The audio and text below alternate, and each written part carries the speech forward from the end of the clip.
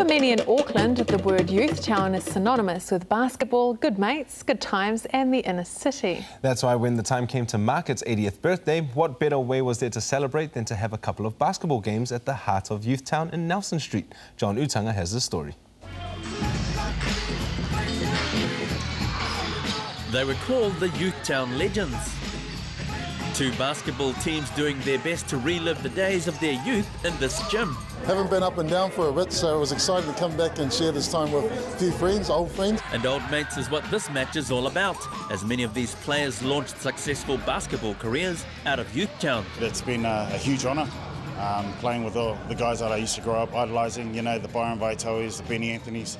You know, they're synonymous with uh, NBL basketball, and I grew up playing NBL, and especially uh, with my peers as well, with the Sevilla brothers out South Auckland and Mark Funger and Dale Rasmussen, you know, the list goes on. Quite rightly, basketball holds pride of place at Youthtown. It's what brought many young Pasifika youth here. People like father of two, Donald Tassi. 1987, used to come down with the guys I went to school with at, uh, from Avondale College. We all used to bust down just to play ball and uh, yeah, just to fellowship with a lot of the other guys from all over Auckland. You always wanted to play against the best guys from other schools, um, other areas in Auckland, and and they'll always be down here on Monday nights. Youthtown opened in 1932. Later, it found a home in Parnell, and it was called Boys Town. By the mid 1980s, it had moved to Nelson Street and changed name to Youth Town to acknowledge the presence of girls and a wider range of activities on offer. These days, they still provide a variety of fun and challenging things to do, but they do it in a few more places.